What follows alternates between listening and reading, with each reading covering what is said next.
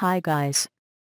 Venture Viability Research Case Solution and Analysis The function of the enterprise viability research process would be to identify the key questions underlying the viability of a venture, to ease reframing of the venture to enhance its viability, and to supply evidence to support the founder's answers to those questions.